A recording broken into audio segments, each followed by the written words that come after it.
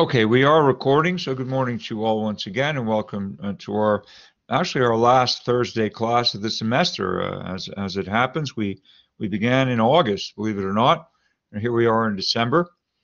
Uh, and um, uh, so the uh, relevant housekeeping notes are as follows. Um, well, thank you so much, Mama. It's very kind of you. I actually have have uh, enjoyed teaching you also this term, and I mean, the truth is that, uh, of course, I, I really enjoy teaching anyway, but always prefer to do so in the classroom where I get to meet people and see people in the flesh. I think it's a more productive way, but we're fortunate, uh, of course, that we have this platform. Otherwise, we'd, we'd totally be unable to uh, conduct classes. So, I mean, it's at least the good news is we can do it virtually although I've argued for a very long time that many things are better in reality. Notwithstanding the power of the digital revolution, there's still something to be said for reality. Um, but in any case, here we are, um, and uh, I've, I've enjoyed interacting enormously uh, with with you. Uh, and uh, I'll look forward to resuming teaching next term. That was Erica's question. Yes, uh, I am uh, teaching. Um, Erica, you won't need uh, the 10200 class again, um, but I am teaching that one. Uh, I'm also teaching Chinese philosophy, um, and that may uh, may interest you. It's part of the Asian philosophy cycle that I've instituted here more than 20 years ago. So we go through a cycle of Indian philosophy, Chinese philosophy, and Buddhism, three different courses, and they are, I think, cross-listed with Asian studies. Uh, but in any case, I'll be teaching Chinese philosophy next term as a, uh, an elective.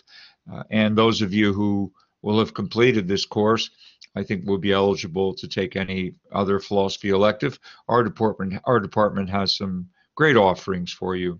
So uh, please uh, take advantage of those if you're able to. So just to repeat the the um, scheduling arrangements, today is our last breakout group. Uh, but Monday will be the final plenary. I am not going to introduce new material on Monday. Today we'll finish covering Newcomb's problem and look at a couple of perhaps surprising real world applications that it has. Um, and that will complete the formal treatment of the material for us in this third section of the course.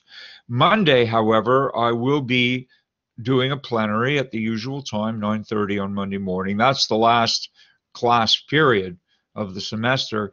And I will be happy at that time to take any questions that you may wish to raise, either about any of the material that we've covered this uh, in this section, namely Zeno's paradoxes, uh, Anselm's ontological argument, the prisoner's dilemma in both two-person and uh, n-person formulations, including the tragedy of the commons and free riding uh, those very important topics that affect all of us, and indeed Newcomb's problem.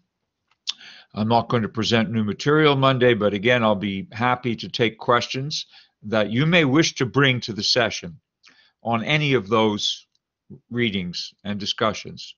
Um, and indeed, I'll be happy to expand the conversation if any of you have larger questions uh, pertaining to philosophy either this course or beyond this course. Anything that's philosophical is is fair game as far as I'm concerned. But we'll start with a focus on obviously the material that we've just covered. Um, and then if, if you have any other questions, uh, feel free to raise them. So that will be Monday's lecture. And that will officially end the uh, lecture portion of the course. And then, as I said, and we'll repeat, your final essays, essay number three, will be due the following Monday, um, which is the uh, the 14th of December. I make it uh, indeed the 14th of December, uh, and I'll open the portal on Blackboard. Um, you know, in, in a few days. I don't imagine anybody's uh, got their uh, third essay ready yet, but I'll open the pl- the um, the portal, and you'll be free to upload. So I know some of you are early birds, and that's a great thing. It makes my job a bit easier if you want to upload your essays earlier. That's fine. I'll, uh, it just means that your final grade will be submitted earlier, um, or at least on time. I do them all at once. But please don't be late. uh, because I have a deadline to meet as well. There, there is an end of term deadline by which I will need to get the grades in, and those of you who are missing uh, a component uh, will end up with an incomplete, which is not the end of the world, but it will then turn into something worse if you don't remedy it. And I know that with COVID, they're giving people, or at least this term, last term, we gave people uh, a reasonable window into the next semester in which to complete work that was incomplete. I'm not sure yet what the new deadline will be, uh, but it's always, uh, I think, to your advantage uh, to get your work in on time. Uh, that that's the main thing. Then you know that if your work is in on time, then you'll be graded on time, and you can simply move on. All right, are there any questions about any of the housekeeping uh, before we uh, resume Newcomb's problem? Any questions at all? Is everybody okay with this? Apparently so. Very well. In that case, let's return to uh, oh, when will you expect? Or okay, I, I misspoke, Mame, and I apologize. You cannot expect a final grade early uh, because the system um, the system allows me to enter grades once, uh, unless they're change of grade forms that that come in late, you know, for late grades.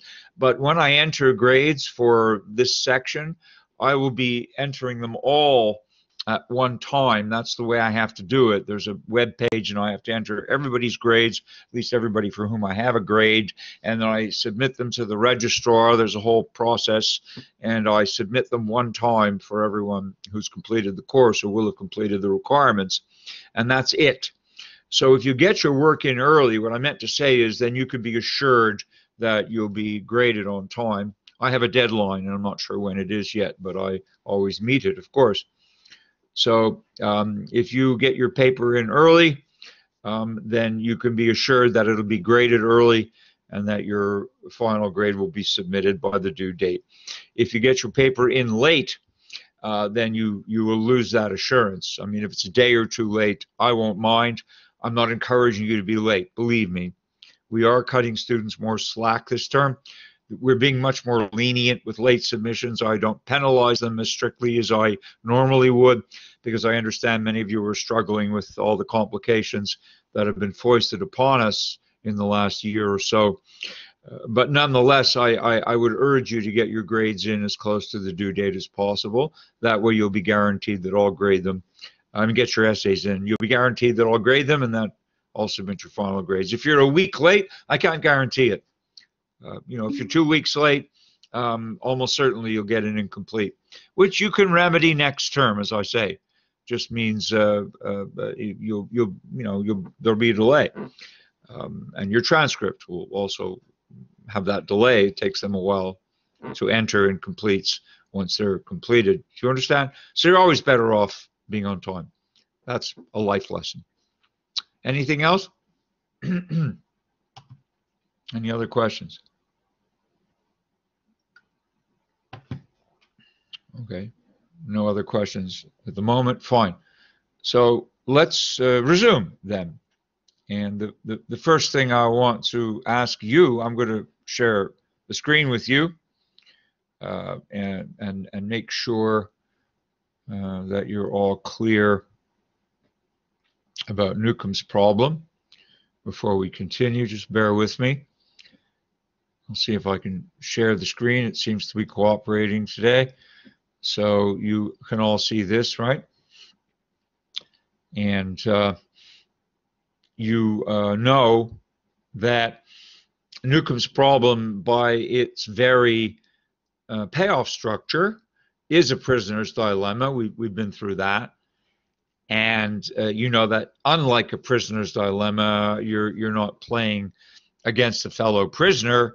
Rather, you're playing against a a being called Newcomb's demon, who is an incredibly good predictor of what people do.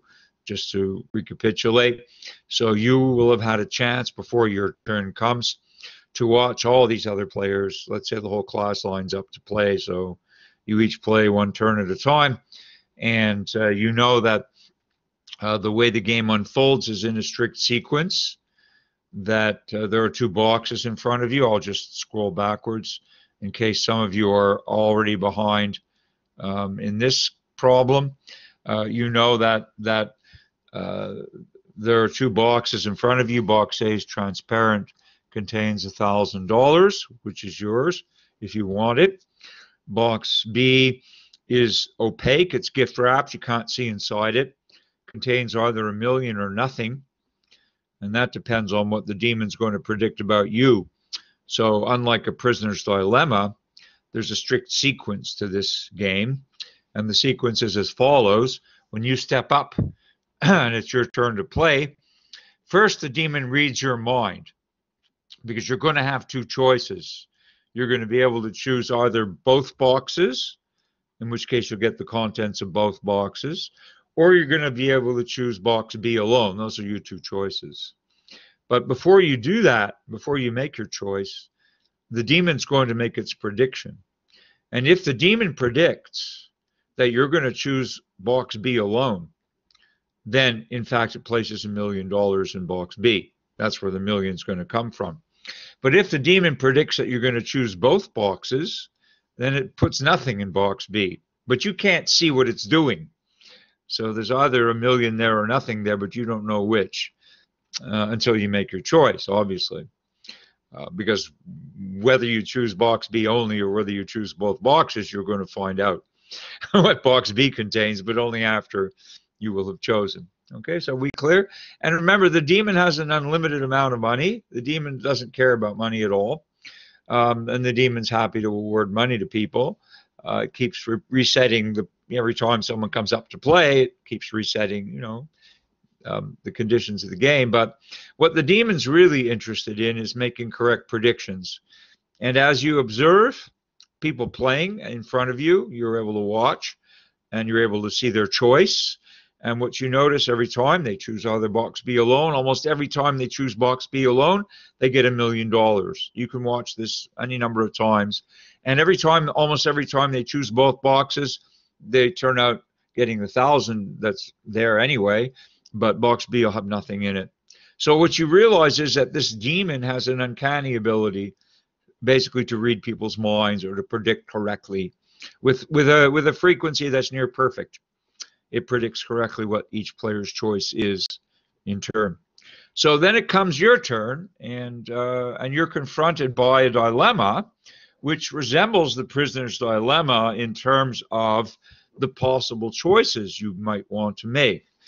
Because what we saw, if you look at the payoff structure, uh, again, we're looking at, at T being the temptation to take both boxes in this case, right? R being the reward for believing that the demon's going to correctly predict your choice if you pick box B only, and therefore you get a million dollars.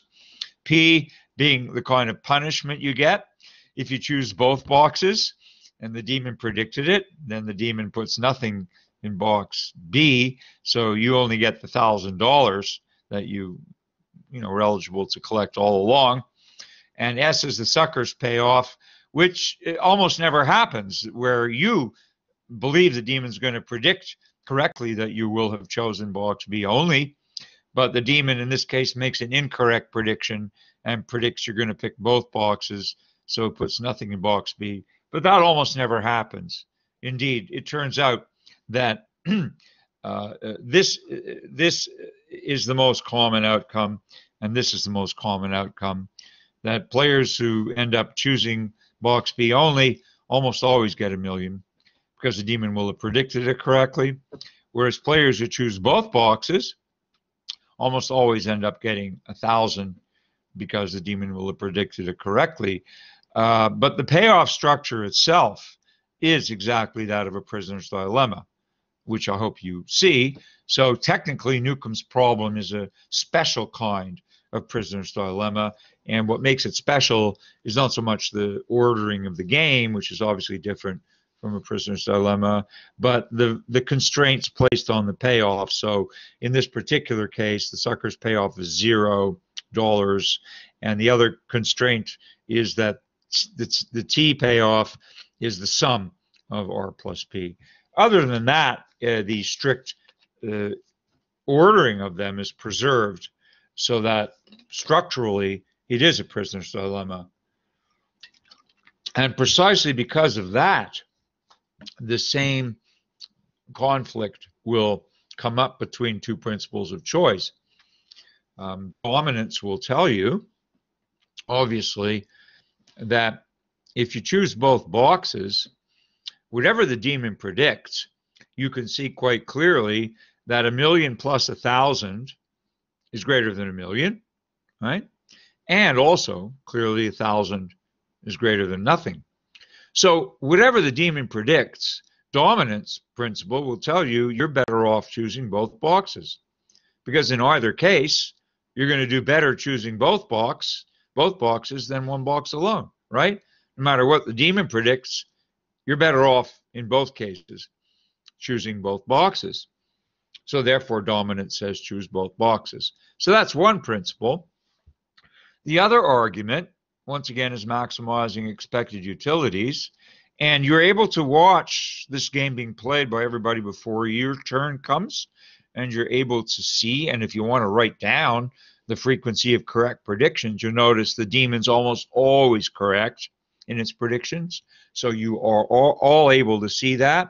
We'll assume the demon's predictions are like 0.9999% correct, or that that means I mean 0.999 correct, almost 100%, meaning that um, the probability, right, that there's a million dollars in box B if you choose box B is very close to one. So if you compute the expected utility of box B only, it's very nearly one times a million plus very nearly zero times zero because if the probability of this is almost one, then the probability of that is almost zero. So basically, you know that the expected utility, your expected utility of choosing box B only is almost a million. Whereas uh, the expected utility of both boxes, similarly, you, you see that the demon almost always correctly predicts when the player chooses two boxes. So almost with uh, the same probability one. If the player chooses both boxes, there's a thousand in it. So the probability of that is similarly near zero. So therefore, the expected utility of choosing both boxes is near zero times a million plus a thousand, which is in, in turn near zero, plus near unity times a thousand, which is approximately a thousand. So obviously, your expected utility of box B only is nearly a million dollars. Your expected utility of choosing both boxes is only around a thousand dollars. So therefore, the expected utility of choosing box B alone is much, much greater than the expected utility of choosing both boxes. So that principle of maximizing expected utilities would lead you to believe would lead you to choose box B alone. So you see that you have exactly we encounter the same divergence of choice as we did in the prisoner's dilemma. Is that much clear to you? I'll pause now for questions, but uh, remember, just as in the prisoner's dilemma, strictly speaking, you don't even need the demon to be that good for maximizing expected utilities to prescribe that you choose box B only. What you need to observe is that the demon's relative frequency of correct predictions needs to be only more than a half if even if the demons right, you know, 80% of the time, 70% of the time, 60% of the time, anything more than 50% of the time, in fact, it will turn out that if you just do the math, that uh, if the demon's correct uh, uh, predictive frequency is more than 50%, then actually you're still better off choosing box B only because the utility of doing that will be greater. The expected utility will be greater for box B only. Okay, so those are the two uh, principles which would lead you in divergent directions, obviously. Um, I'll just come back to the room now and see if uh, if you have any questions before we continue. Um, is this clear to everyone? I've just reviewed what we covered last day. So is that all right? It is. Good. Well, I'm glad it is. I mean, if it's not, then ask. But if this is clear, it means you've been paying attention. Either you were there on Monday or you watched the video. Um, and, and so you're on top of this. And moreover, as I said last day, and I'll reiterate, if you have understood previously from last week what we covered in the prisoner's dilemma, then you'll see that Newcomb's problem is not different with respect to these divergent principles of choice. So understanding the prisoner's dilemma is going to make it much easier to understand Newcomb's problem clearly. Um, and since I'm getting a few yeses, then that's fine. Uh, I just want now to to make a new point that came up toward the end of Monday. Some of you were there, or some of you hopefully by now have seen the video. So you know um, that I mentioned that the philosopher who uh, first published uh, the paper about Newcomb's problem that brought it to the attention of the philosophical community and everybody else because it's pretty widespread now.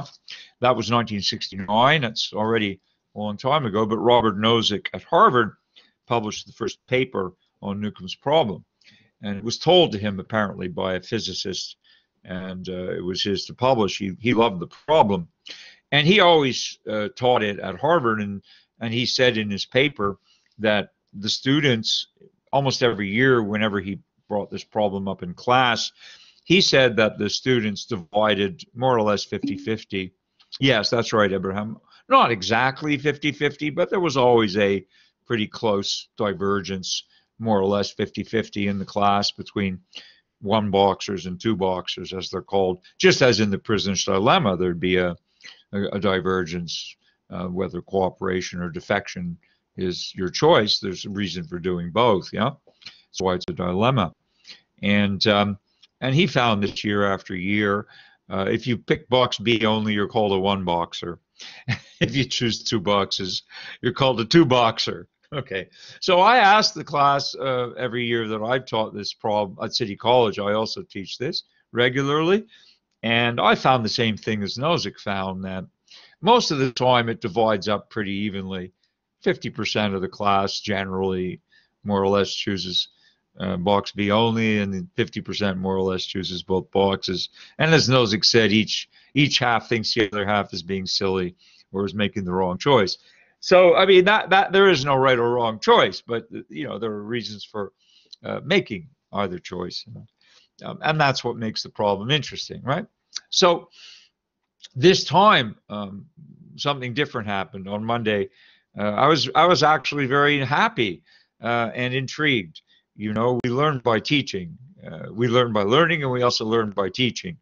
And I learned something really interesting on Monday, thanks to you, or thanks to the larger group that was in attendance, because when we actually wanted to play, um, well, that was one point. Oh, I'm glad you were attentive to that. Someone wanted to flip a coin.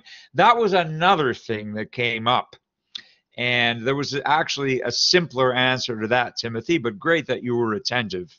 Um, and I don't remember exactly who posed that question, but it was a really one of the students posed that question, uh, and I think it was a she, and she said, "What if I flip a coin?"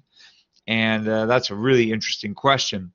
And the, my answer was, and my answer still would be that if you step up uh, and it's your turn to play the game, um, if the demon reads your mind correctly, then the demon will know that you intend to flip a coin or that you've already flipped a coin. And so you're not really choosing either box B only or both boxes, you're leaving it up to chance. And in that case, my argument is my response is that the demon will put nothing in in box B. If the demon knows or predicts that you're going to flip a coin, the demon will not reward that behavior. The demon will put nothing in box B. And I'll tell you why, and there's a particular reason, which is a fairly rigorous one.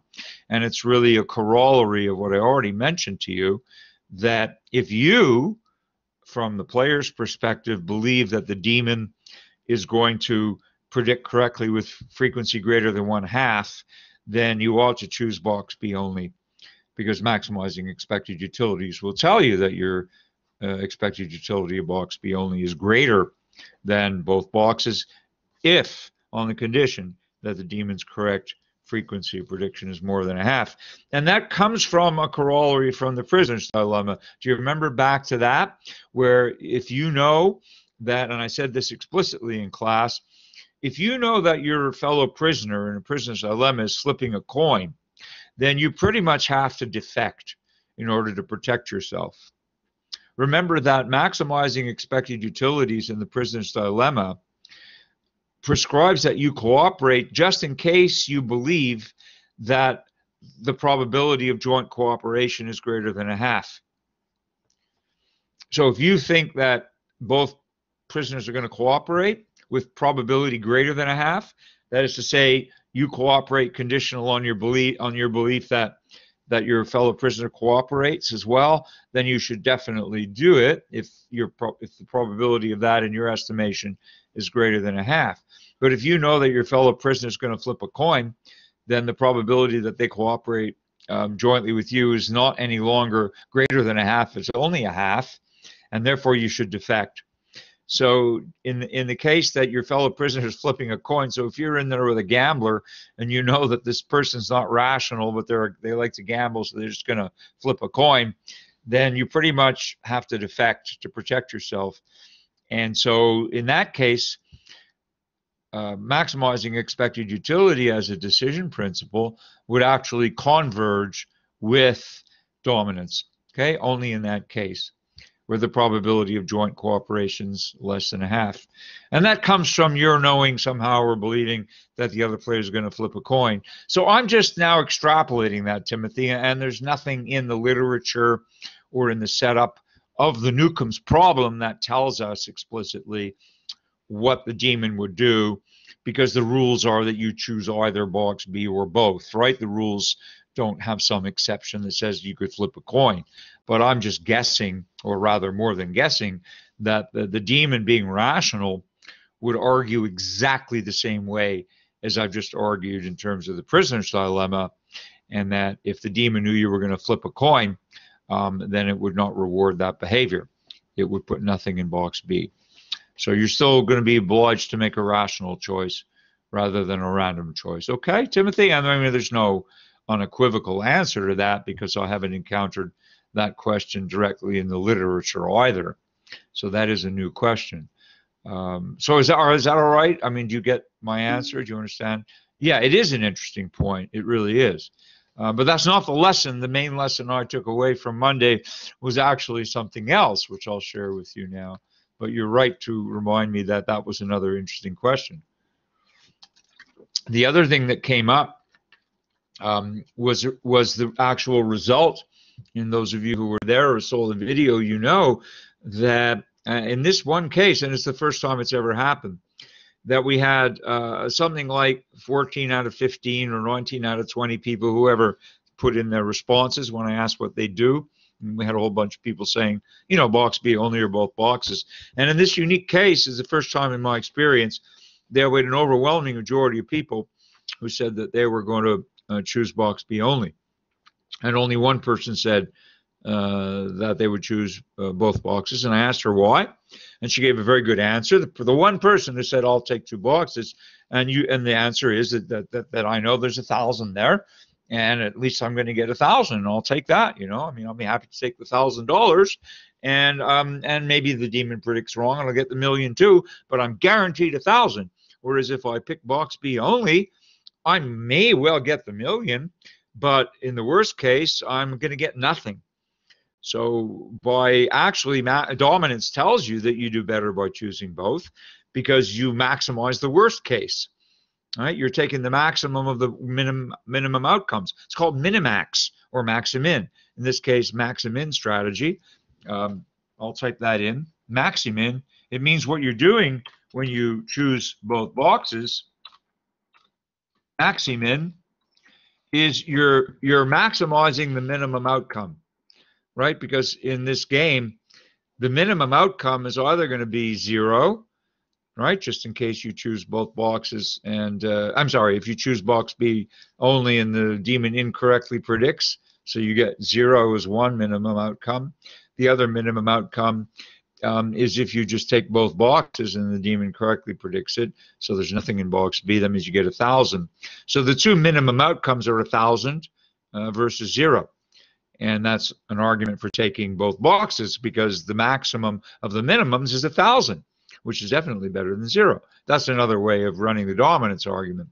So anyway, she said that she would take the thousand rather than gamble on the, uh, you know, maybe getting the million or maybe getting nothing. And that's a perfectly legitimate argument. I'm sure you could see the merits of that argument. Whether you would have taken one box own, box B only, or both, you could see the merits of that argument, right? But but it was the first time I'd ever seen such an imbalance as most of the other all of the other people who declared what they would do between 15 and 20 of them said they would take box B only. So I was trying to account for that and uh, to understand why there was such, for the first time, a real disparity in the declared outcomes. I don't know what everyone else was thinking of doing because they didn't say, and maybe it would have come out of the wash with so many people in the room. Uh, maybe it would have come out had everyone declared their uh, choice. Maybe it would have come closer to 50 50, but we'll never know. So it made me think. And what it made me think of was that although the two decision principles in this game, just like in the prisoner's dilemma, are always going to diverge, regardless of the payoffs themselves, as long as that same transitive ordering of payoffs is preserved, as long as, in other words, that you're in a real dilemma, prisoner's dilemma by virtue of the payoff structure itself, or indeed you're in a Newcomb problem by virtue of that same payoff structure, the two principles, every time you look at dominance, uh, it's going to tell you the same thing. And every time you look at maximizing expected utilities, it's going to tell you the same thing, regardless of the absolute values of the payoffs, as long as they're in that same ordering. But in this particular problem, it does make a difference what the absolute values are of those payoffs. And so I just want to show you what I mean. I'm going to give you three different examples of Newcomb's problem, played with the normal payoffs, and then played with inflated payoffs, played with deflated payoffs. And when we look at those, we'll understand. I think uh, we'll have an, a, a way of explaining why, in this case, there was such a divergence. So I'm going to try and share uh, the screen again, and hopefully it will still be cooperating. Uh, so it is. My luck is holding. Okay. So you can see the new uh, screen, right? And um, this is the standard problem. We, have already seen this. This is the problem we were all deciding on the basis of on, on Monday. So again, the argument is that if you pick both boxes, you're guaranteed a thousand dollars. That money is sitting there, and and that's you know money that's you can just all you have to do is choose both boxes and you can just collect it and if the demon predicts wrongly then you're going to get the million and the thousand so you have nothing to lose and you're going to gain at least a thousand so that's an argument for dominance right whereas if you really believe the demon is is as good a mind reader as it appears to be then you're willing to take a chance because you'd much rather have a million. I mean, we could all use a thousand, absolutely.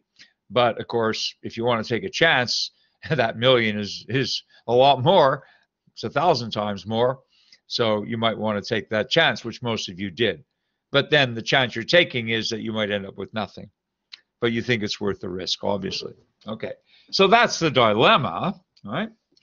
And then I was thinking, but in a real world scenario, I mean, this is not a problem we can experiment with because no one has that much money to give away, except maybe Jeff Bezos. I don't think he's going to be funding any Newcomb problem experiments, although maybe I should write to him and ask him. I don't think that he will, nor do I think it's ethical. I don't think we'd be allowed to conduct such an experiment in a university with real money. I don't think it would be legitimate to do so. Um, but in any case, what I'm saying to you is that in a real world scenario, if we think about adjusting not the uh, ordering of the payoffs, but the absolute values of the payoffs, uh, we can keep the same ratios, but or similar ratios. But if we change the absolute value, it might turn out that people's decisions will change, not because the principles don't diverge any longer; they will always diverge, but because people's real world situations will be, uh, or their preferences in a real world situation will be drastically altered depending how much money is really on the table here. So let me give you a quick example. The way the example is concocted in the literature is always with a thousand dollars uh, versus a million. So it's clear that there's a temptation to take the thousand.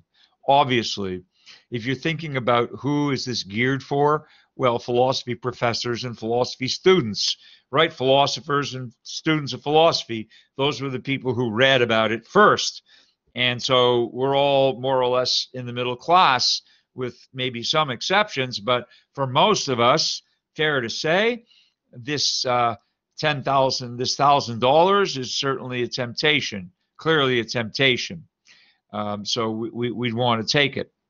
Um, but on the other hand, uh, it's also clear that the million is very tempting uh, because of the probability of getting it if the demon's a correct predictor. So that's the tension in the model. But now let's go from the standard uh, model. Um, we'll go from the standard model.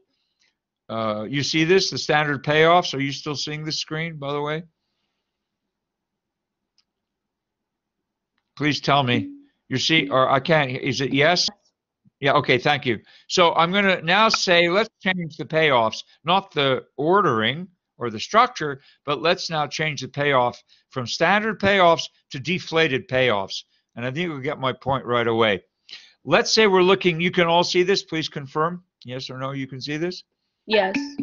Okay, thank you. So now we're looking at deflated payoffs. And all I've done is to deflate the currency. Here you have a thousand in box A, and here you have ten dollars.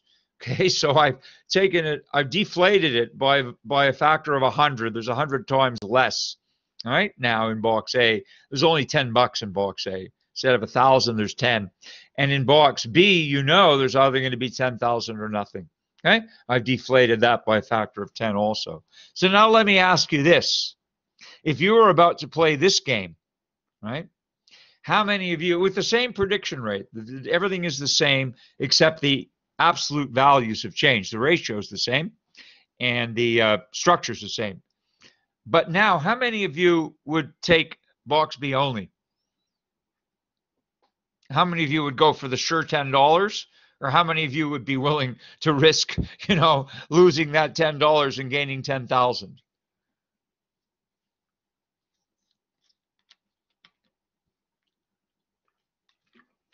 You understand the question? What would, I'm just asking you, what would you do in this game if these were the payoffs? What would you do? You're sticking with box B only. Yes, and, and I'm saying in this game, it's it's most people. I'm I'm assuming that most of you are going to take box B only in this game. Why? Because you're not tempted by 10 bucks. I mean, 10 bucks is going to buy you lunch for sure, but 10,000 is really good compared to 10, right? So most of you are not going to be tempted by the $10. That's my assumption based on this. Okay, okay, Veronica would still go for the 10. All right, well, that's a free, you're guaranteed a free lunch. All right, now let me ask you a different question based on this game with these payoffs. Suppose you were playing this game in a homeless shelter. Suppose you're playing this game and you round up a bunch of people who you find who are basically panhandling, people who are actually asking others for money because they really need money. They're asking for spare change, right? Or they're asking for a dollar or what have you.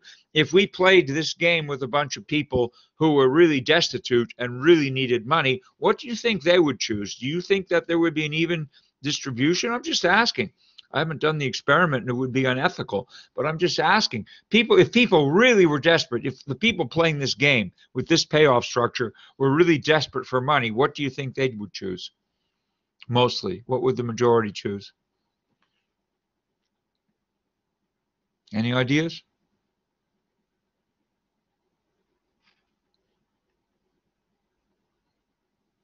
No ideas?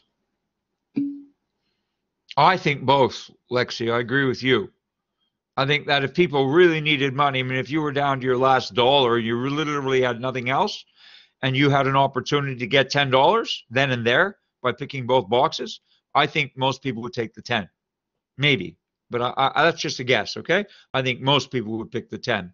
Whereas in this group, I think most people would pick box B only because the ten dollars, while certainly it's going to get you lunch guaranteed, uh, the ten thousand is much more useful, and if you think you have a better probability of getting it um, because of the demon's prediction rate, then you probably pick box B only. Now let me ask a different question to you. All right, I'm going to play the same game with you, but now instead of um, deflating the payoffs, I'm going to inflate the payoffs. now I've just inflated the payoffs by the same factor. So instead of instead of one thousand dollars in box A, now there's hundred thousand dollars in box A. I've just inflated them by a factor of ten. Yeah, instead of uh, or rather a factor of a hundred. Excuse me. Instead of one thousand, there's a hundred thousand sitting there in box A, and instead of one million in box B, in case the demon predicts you'll choose box B only, now there's a hundred million in box B. Okay, so imagine now we're playing this game. Same game, same divergence of decision principles. Nothing has changed except for the raw amounts. Now, how much? Ah, now Elijah is onto it. Of course, Elijah. Suddenly, both boxes is much more enticing because suddenly now we're guaranteed 100K. That's the worst we can do. Hey, I'll take that, right? We don't need 100 million. Of course, we maybe love to have it, but we know that we're guaranteed, oh, all of a sudden, all of a sudden, everyone, of course, it makes sense that you would all, and I would probably do it too although I'm normally a two boxer. I would say 100K. Yeah, I'm going to go for that because, and I think only a big gambler is going to be willing at this point. You'd have to be a serious gambler, right? Or what? If we now had a bunch of billionaires, let's say now we're playing the game, not with people who are panhandling, but with people at the other end. We're talking about the wealthiest elites. Let's say we're now playing this game with Bill Gates and Jeff Bezos and Oprah and Obama and these people who are being showered with, you know, where they have billions of dollars, basically. Um, oh, the Obamas don't have that much yet, but they will soon. But we're talking about the, you know, the biggest, wealthiest players now that you can think of in the world, people who are billionaires. Okay, what do you think they're going to do if they see this game? Are they going to go for the both boxes? Or are they going to go for box B only? Imagine a bunch of billionaires playing. What do you think? Absolutely, Timothy. Absolutely. Because if you're a billionaire, then 100K doesn't excite you, right? 100K is like pocket money. They go on shopping trips and spend 100K. It's nothing for them. Um, whereas 100 million is significant. Yeah, they could do something with that. So, um, uh, yeah, I wish too. But here's the point, right? Remember, that most of us were willing to forego the ten dollars, right? If it was only ten bucks, then we'd go for box B only in the hope of getting ten thousand.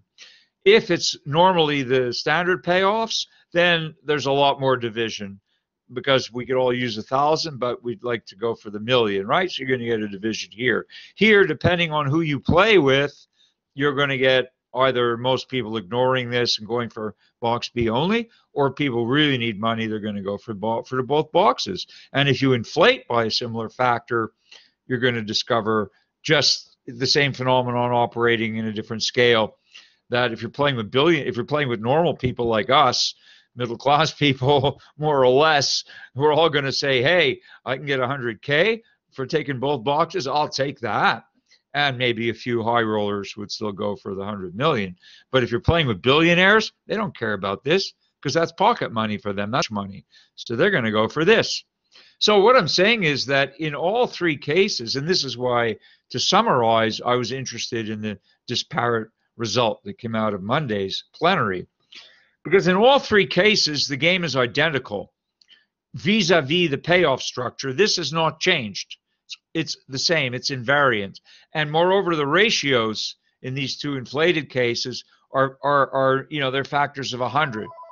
So essentially, um, that nothing has changed in the in the in the matrix, and also nothing has changed in the decision principles. In all three cases, dominance tells you to take both boxes, and in all three cases, maximizing expected utility tells you to take box B only. But what really makes all the difference then is the absolute amounts and who the players are. So then it becomes really a socioeconomic problem and not so much a problem of rational choice. Okay? And that's not terribly surprising, is it? All right. So anyway, that was what I thought the really interesting result was. To me, it was the interesting result because changing the absolute values will really change people's decisions, although the decision principles themselves do not change in terms of their divergent prescriptions. Is this clear? Is everybody clear on that? Okay. So I thought that was interesting. Maybe you do or maybe you don't, but for me it was interesting. All right, so I'll stop sharing this screen.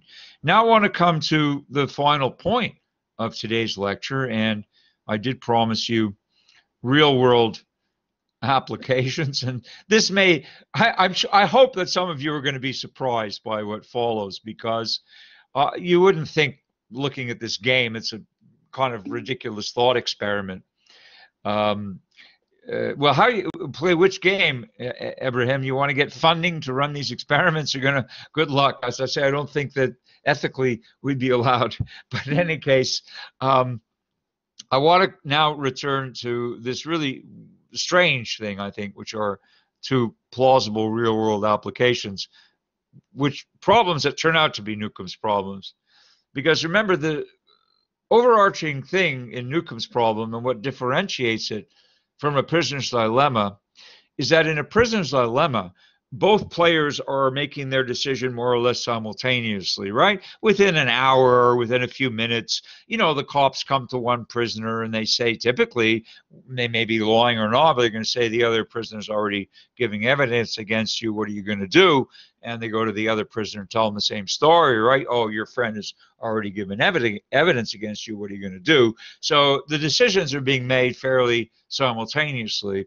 But what we know in the Newcomb problem is that there's a strict sequence, and we know that first the demon predicts what you're going to choose, and then the demon either puts the money in box B or not, and then you make your choice. So there is that strict sequence.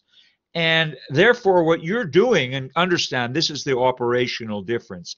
When you're playing a Newcomb's problem, you're playing against the state of affairs that's already been decided. This is really key that you understand what I'm saying. That the demon's already done whatever it's going to do, right? It's either put the money in box B or it hasn't. So you're playing against a state of nature, we would say, not in a Hobbesian sense, but in the sense that whatever is being decided has already been decided. And you just that you don't yet know what it is all right?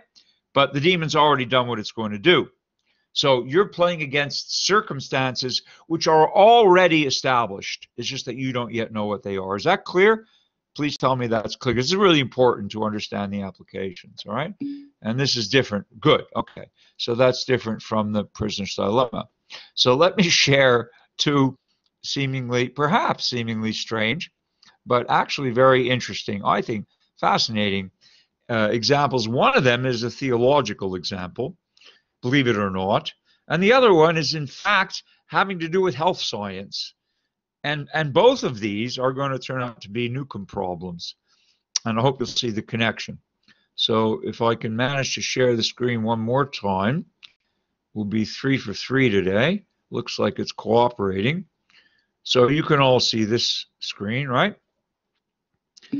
Good. Thank you. All right. So check this out. Okay. We're looking at a kind of Christian theology in this case called Calvinism. And it's a branch. Calvin is the is the founder of, of, and there are Calvinists. I don't know. Maybe there are Calvinists in the room today, and I hope I'm not misrepresenting your theology. I believe this is to be the case with Calvinism. Calvinism uh, teaches, among other, they what they believe basically is that your people are either born saved or born damned. Okay, that this has already been determined by God. And uh, if so, either you're born saved, in which case, no matter what you do, you're going to heaven. I mean, if you're born saved, then you're saved, right? And so you're going to heaven when you die, and you're good. Um, or you're born damned. Uh, unfortunately, nobody wants that. But if you're born damned, then obviously you're going to hell. Nobody wants that, but that's where you're headed. So this is not a situation that you can choose from. It's a situation that's been predetermined. So now, what are your choices in life? So it's clear again. The, I'm just representing the Calvinist framework here within the structure of uh, what turns out to be a Newcomb's problem. Why? Because Calvin says to his followers, look, you either can lead a pious life or an impious life. Those are all choices we make. All of you, uh, all of us are making those choices, are we not? Uh, we can either be pious or impious in our conduct of life. Do you all know what pious means? What does it mean to be pious? What, what, with what do you associate piety? Right? The noun, the adjective is pious. The noun is piety. If we talk about somebody being pious, what what do we mean? Religious, yes, but in what specific way, Erica? Yes, that's a synonym. But what do we mean by pious? Anything more more than religious?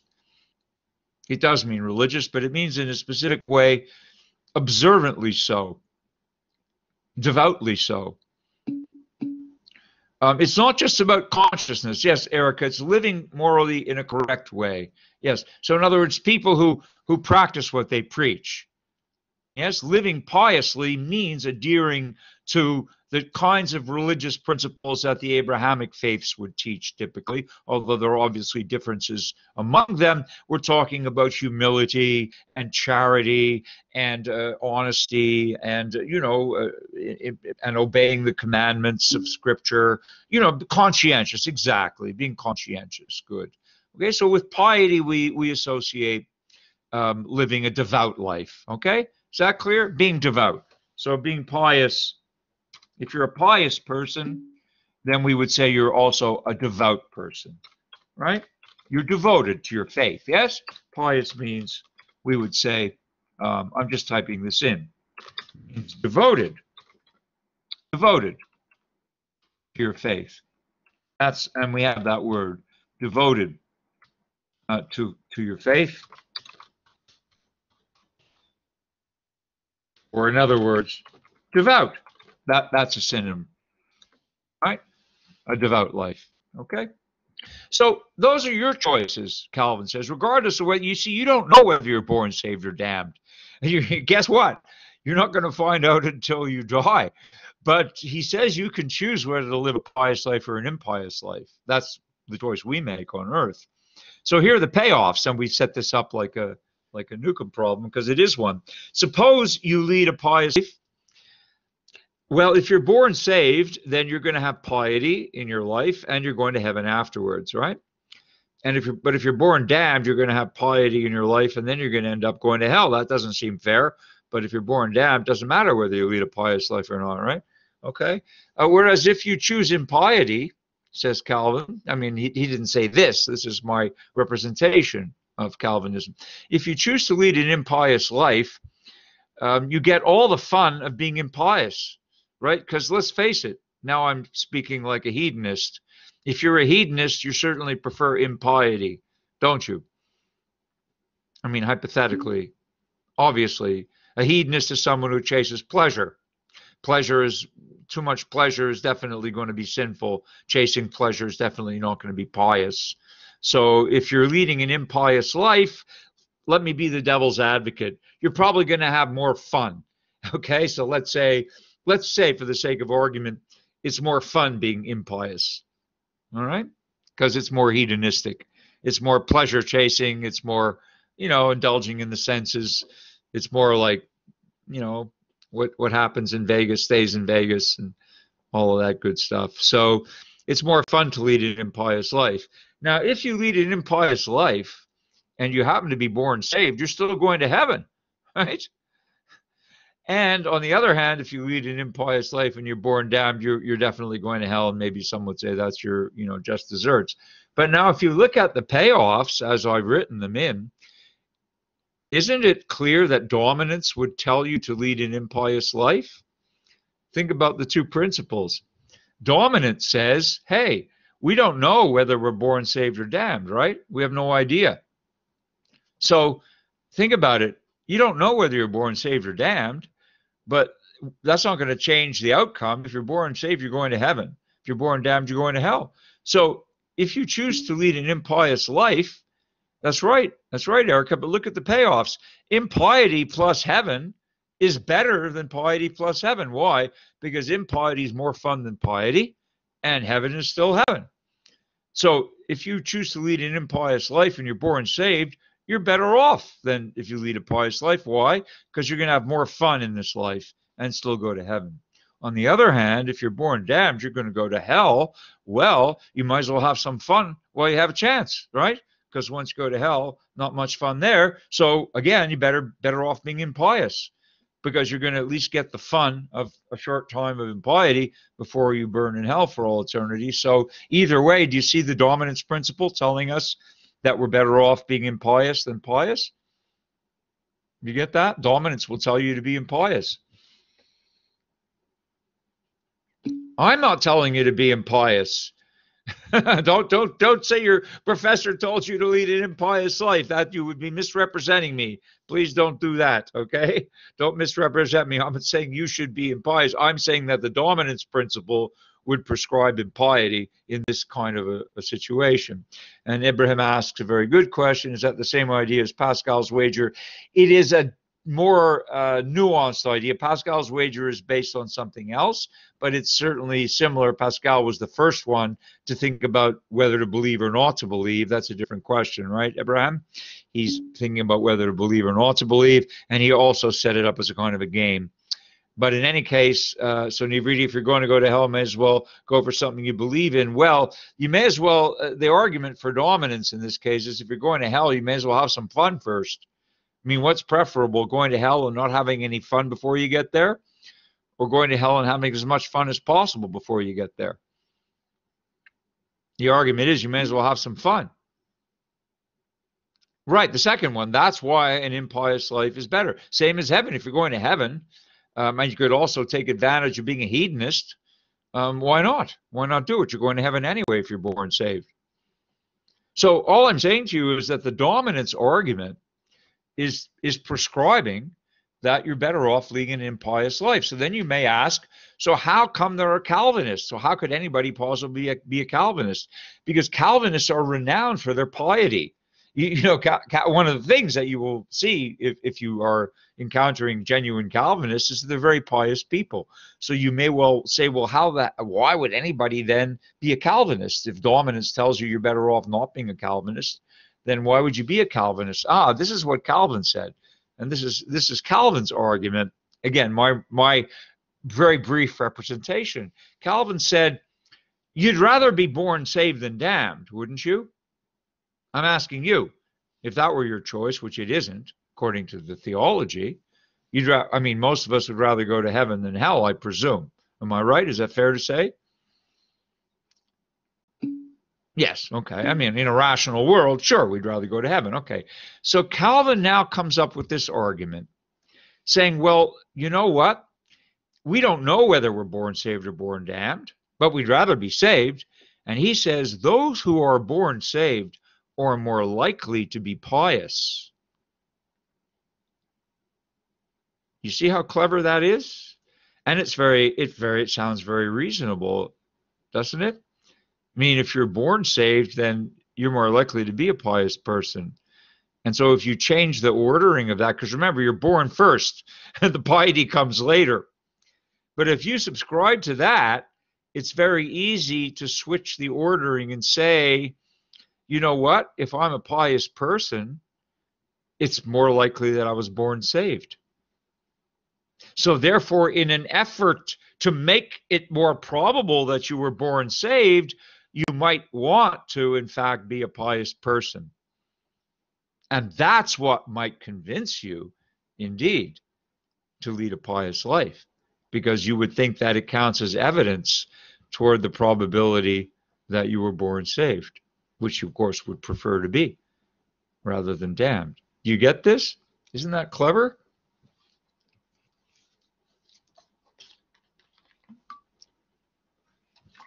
I'm not trying to convert anybody. P.S. I'm not a Calvinist. I'm not trying myself. I'm, I'm not trying to convert anybody. I'm just saying it's a very clever theological argument, is it not? I think so, Erica. I think it's very clever. So then, do you immediately see why this is a Newcomb problem? Because those of you who are one boxers are saying, you know what? If if if the demon's a correct predictor, then I'm better off choosing box one, box B only. Right? If the demon is is is is a, if the demon is correctly predicted what I'm going to choose, then I'm definitely better off having chosen box B only. You see, it's a parallel argument.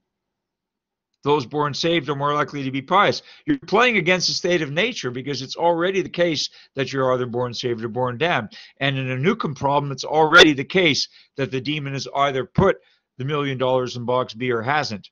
By the time you make your choice whether to lead a pious life or not, it's too late to influence whether you're born saved or born damned.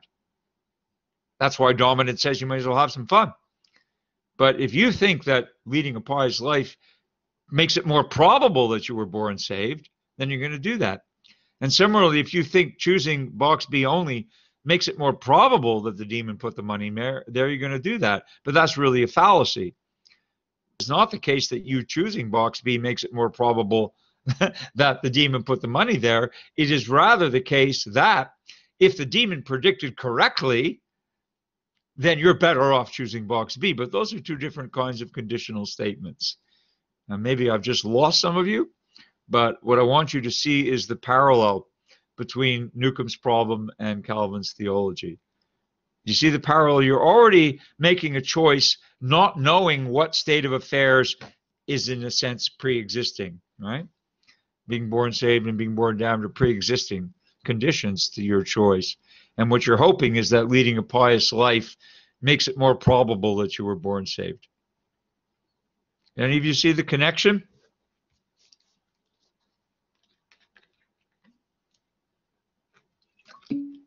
You do. I think I think good if you do. So it's really a Newcomb problem.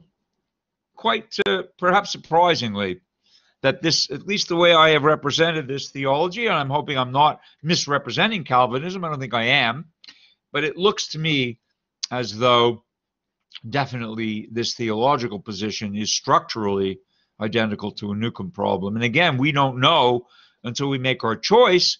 In either case, we have to make a choice and then we'll find out what's in box B.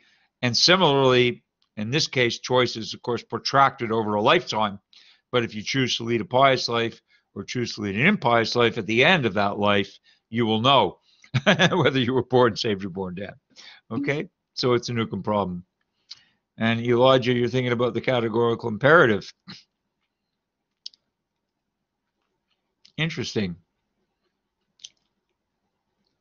Interesting. But Kant's categorical imperative is only about this world. I mean, I'm not I'm not disputing you. I'm just saying that that uh, Kant, Kant uh, didn't think that this would be very good reasoning in any case because he remember he thinks that intentions are everything and the consequences are nothing. So Kant would say his categorical imperative would say lead a pious life because you could will that to be all the tenets associated with leading a pious life, you could will them to be universal laws, whereas all the tenets leading associated uh, so the tenets associated with leading an impious life would fail the categorical imperative test. Okay, so uh, anyway, I'm glad you're thinking about Kant for whatever reason. You're trying to connect some dots here. That's interesting. Now I want to show you the second example. And maybe this is more pertinent to you. Um, the second example of a arguably very different example, but nonetheless a very interesting one, I think, pertains to this scenario where we're looking at, let's say, cancer or some other, um, let's look at some of these kinds of diseases uh, certainly, some kinds of cancers, not all, but some of them depend on whether you have a genetic predisposition, correct? Heart disease, certainly, cancer, certainly, or at least many cancers. And the issue now we know is not whether you have the genes, but whether the genes get expressed. Yeah?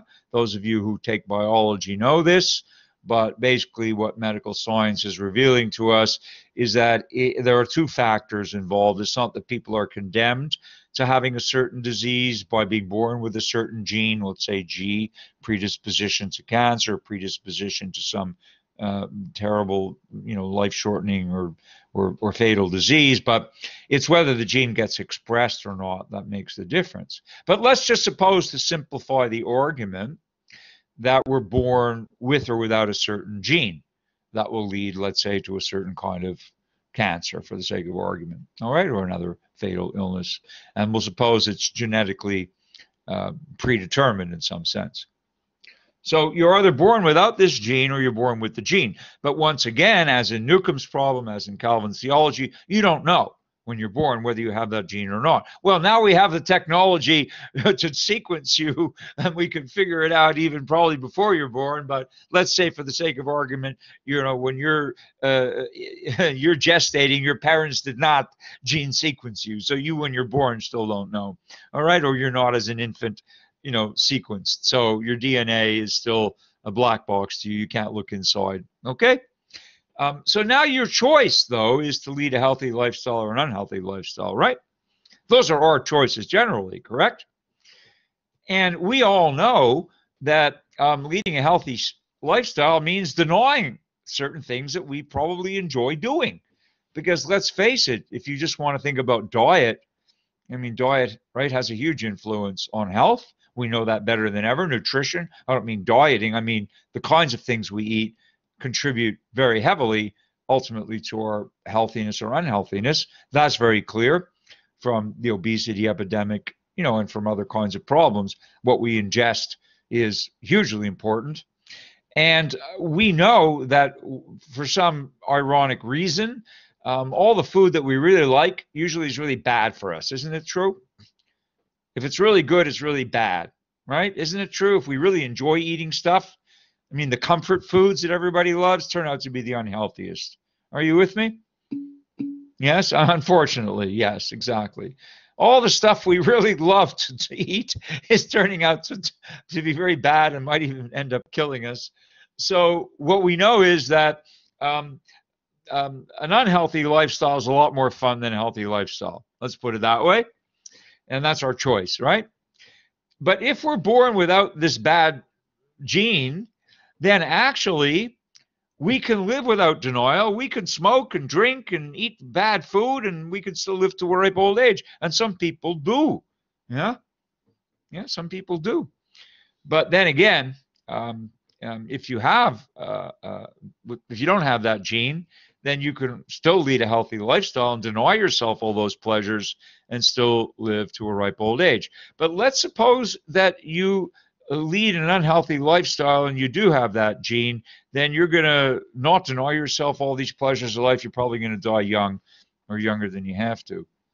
And uh, and suppose that you uh, uh, you're born with that gene and you lead a healthy lifestyle. That's the sucker's payoff right? Because you're trying your best to lead a healthy lifestyle but you're still going to get that illness and and and you're going to live with denial of all these pleasures and still die young. So i hope you see that once again it's a newcomb problem it's exactly the same problem because we're playing against the state of nature and we don't know what that state of nature is until we, we die of it or, or fail to die of it you know and and on the other hand, what what what do we do know? Dominance will tell us what uh, we we're better off leading an unhealthy lifestyle, right? In either case, because if we don't have that gene, then we can have all this fun and still live to a ripe old age. We could eat whatever we want and still live to a ripe old age, right? Whereas if we do have this gene, we're going to die anyway, probably. So we might as well lead an unhealthy lifestyle. You see the parallel? So dominance will tell you, dominance will tell us all that an unhealthy lifestyle is actually preferable to leading a healthy lifestyle. And if you think there's something wrong with that argument, you're probably right. But dominance is still dominance. It's telling us no matter what our our genetic constitution is, which is a given thing. Again, we're playing against the state of nature. We didn't determine it. It's like the demon doing or not doing. You know, the thing with the money. It's like Calvin saying we're born saved or born damned. We either, you know, the genetic constitution we're born with is outside our control. It's already there. So leading an unhealthy lifestyle is is in the end um, going to be preferable no matter what our constitution is, just in the sense of hedonistic pleasure. But on the other hand, medical science will tell you what? Medical science tells you that those who live longest in general have not overindulged in unhealthy pursuits. Right? I'll repeat those who live longest, if you now start studying people who live to a ripe old age, let's say into their 90s typically, 80s, 90s, hundreds, a few, a few of us, but at least a lot of people in their 90s, what will they tell you that they, oh, they have a glass of red wine every day, right? Or they do, you know, they do some other little thing, but not to excess, or they walk every day, or they do, you know, but in general, they've not overindulged. I bet you, you will just, you won't find people in their 90s who like eat, you know, three Big Macs a day uh, for 50 years if you don't believe me, watch Supersize Me. You'll be convinced. So basically, what I'm saying is that um, um, it's not always true because some people don't smoke. Again, this matrix shows us that some people don't smoke cigarettes, for example, so they get lung cancer, right? Um, on the other hand, we know that there's a very strong correlation that people who do smoke cigarettes are more likely to get lung cancer. So the moral of this story is that now look at the order of the argument. Again, the medical science argument, which is the maximizing expected utilities argument, says that people who live the longest have not overindulged in healthy unhealthy excuse me in unhealthy pursuits and therefore it would say to you it would suggest to you that if you do not overindulge in unhealthy pursuits you're likely to live longer that's exactly the same reversal of the conditions as Newcomb's problem and Calvin's theology, where you say, well, if I therefore choose a healthy lifestyle, I'm likely to live longer. No, that's not necessarily true. Just like it's not necessarily true to say, well, if I choose to lead a pious lifestyle, it probably means I'm born saved. No, not necessarily. And it's also um, unsound to argue, well, if I choose box B only, it's more likely that the demon put the money there. No, that's not true either. What is true is that if the demon predicts that you'll choose box B, then the demon certainly puts the money there. And if you were born saved, it may well be more likely that you will lead a pious life. And if you're not born without this uh, uh, gene that would perhaps shorten your life, you may still more probabilistically choose to lead a healthy lifestyle given what we now know about health. But this is why it's a Newcomb problem because you still have a dominance argument that tells you you're better off leading an unhealthy. And listen, I know a philosopher. I'm very saddened, but I know a case in point. I, I, I had a, a, friend, a colleague who was a um, a very good philosopher, but he had congenital heart issues. He he had, you know, though that bad gene. You know, a lot of heart disease is genetic, unfortunately, um, and and it's inherited, and there are a whole bunch of things that lead to either coronary artery disease or just you know things that can go wrong with the heart. A lot of those do um, appear to be the expressions of, of, of bad genes, but he did as little as possible to prolong his life because he really enjoyed life. And he said, you know, I'm not going to eat uh, salads for the rest of my life because I don't like vegetables. So he ate all the bad foods that he enjoyed eating, and he probably shortened his life by 10 or 20 years. But he made the choice. He preferred the unhealthy lifestyle. So um, he lived without denial and he died young, but he wasn't unhappy. So I'm not saying that that's a bad thing.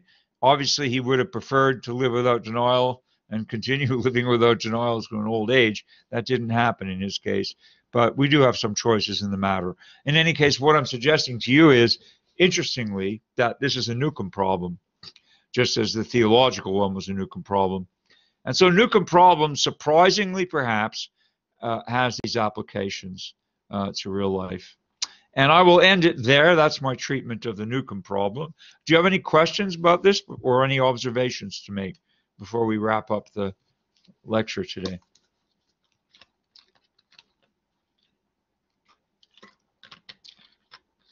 So everybody good to go? Okay. Thank you very much for your contributions today. Interesting as always. I'm glad you're with it and you've got your thinking caps on and you're making connections with some of the other philosophers we've looked at and other philosophers that you yourselves have read independently of this course. It's a great thing to see you make connections between what we cover and other elements of your philosophical expertise. Very nice to see that. Uh, so good job. Uh, I wish you all a very happy weekend. And uh, so we will, yes, you too, thank you. Uh, we will convene, just to repeat one more time, we'll convene on Monday for our last plenary, believe it or not. Um, somehow it's now December. We started in August. Don't ask me where the time went, but it did. We will convene on Monday morning at 9:30 for our last plenary, and you will have an opportunity to raise any questions that come up for you or will have come up for you between now and then. And that could pertain to any of the readings in this final section of the course or to any of the readings in the course that you still have lingering questions about, or indeed any philosophical questions in a broader context that you want to ask. I'm certainly opening the floor. Um, it's a philosophy class, and in philosophy, nothing's off the table. So I encourage you to go for it, and we can have some more wide ranging discussion on Monday if you wish. But we'll start by focusing on the material here. Okay? Have a wonderful weekend, everybody. Um, you want to talk to me after class?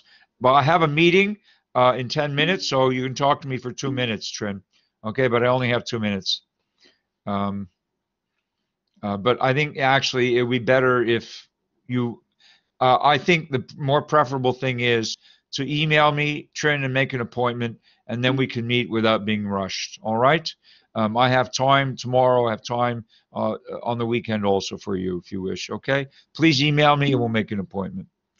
Um, you won't be able to make it on Monday, uh, but you can watch Elijah. You've been great in the class. You've contributed very, very well, and appreciate it. Uh, but you can indeed watch the recording. I'll upload it to YouTube, and so you can profit from it. Okay, on your own time. If if you want to make an appointment to see me, I will keep extra hours for you. We'll arrange to meet in the course room. So please just send me an email, and then we'll fix something up. Okay, I have a department meeting, so I really have to run. All right, have a wonderful weekend. I'll see you all um, very soon. Take care. Stay safe.